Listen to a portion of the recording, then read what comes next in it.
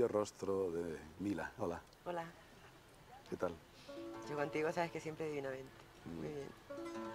En Marbella, que es eh, también tu sitio, ¿no? Marbella es mi sitio, sí. Yo llevo viniendo a Marbella como 15 años, así. Luego sabes que viví un tiempo y luego me fui, luego lo he echado mucho de menos y ahora vuelvo otra vez. Estás yendo y viniendo mucho, estás eh, cambiando mucho. Es la vida un carrusel así de diferente. Sí, pero a mí, a mí eso no me, no me angustia ni me, ni me produce ni- ninguna desazón. Yo creo que la vida es un cambio continuo. Y como afortunadamente tengo la suerte de que siempre que ha habido un cambio ha sido para mejor y que siempre del- del- de la otra parte lleva cosas buenas y recojo en el camino cosas bonitas, pues estoy en un punto que, que- que me encanta, pero que tampoco me importa que, que- que cambie, ¿sabes? No tengo ningún problema. Está bien. ¿Qué recuerdos tienes tú de, de tu experiencia de modelo? Que fuiste modelo durante mucho Yo no fui tiempo. modelo nunca. ¿Nunca has pasado? No. ¿Qué va, no? Lo único que hicimos fue un pase una vez Un paso una vez. Una vez con Carmen Ordóñez, que además recuerdo que fue el día que, que murió, que murió Paquirri, fíjate. Sí. Y fatal, mira, nos No, pero, tuvo mucha repercusión, eh, tuvo mucha repercusión aquello. No, no porque lo hicierais mal, porque...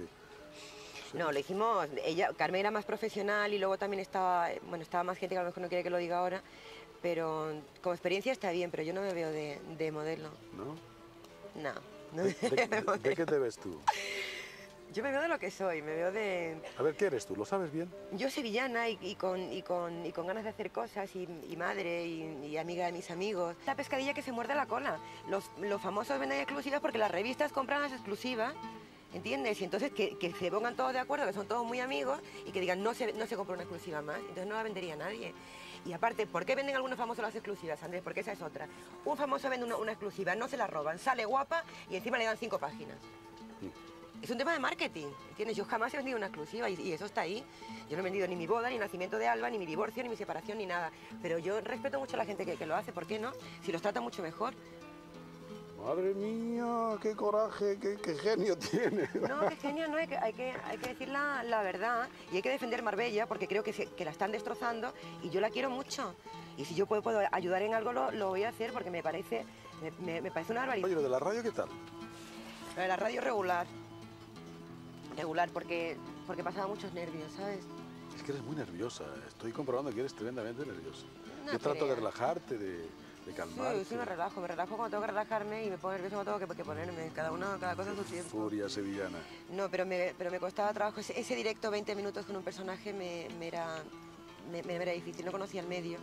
Y aparte como no puedes rectificar, porque no es como en prensa que, que tú haces la, la entrevista y luego la pasas y me, me costaba. Hay un proyecto que a mí me gustaría hacer televisión, pero, pero no ahora, te quiero decir, con el, con el tiempo, ¿no? Incluso producirla para, pa- para países también de, de habla hispana. Y es- me gustaría hacer algo de, de comunicación ¿no? otra vez, pero cuando, cuando piensa que es un producto que, que merece la pena y que se va a hacer bien sin prisa. ¿no? Eso sería el proyecto que a mí más me gustaría de, de, de momento. Y luego, y luego creo que tener otro niño. Sí, Ah, eso lo has dicho dos o tres veces. Sí, Estás creo que ya es tiempo sí, además. sientes el deseo Sí, de porque ser creo que madre. Alba, Alba necesita, aunque tiene hermanos, pero, pero son de, se va mucha edad y creo que le vendría bien a alguien que, que la acompañara a casa. Ya sabes con quién. Está el hombre ahí. No, desafortunadamente no, no está el día que esté yo lo voy a decir. No ¿Cómo, te gustaría que fuera el padre de ese hijo que tanto Me gustaría que fuera muy padre, sobre todo. Que fuera muy persona y que, y que fuera y, y que defendiera mucho la familia. Que supiera, que supiera defender muy bien su territorio privado, ¿sabes? Que supiera darle a lo importante, al- la importancia a lo importante y a lo otro, a lo accesorio, nada. Que, que hiciera una, una verja alrededor nuestro y que, y que nos protegiera.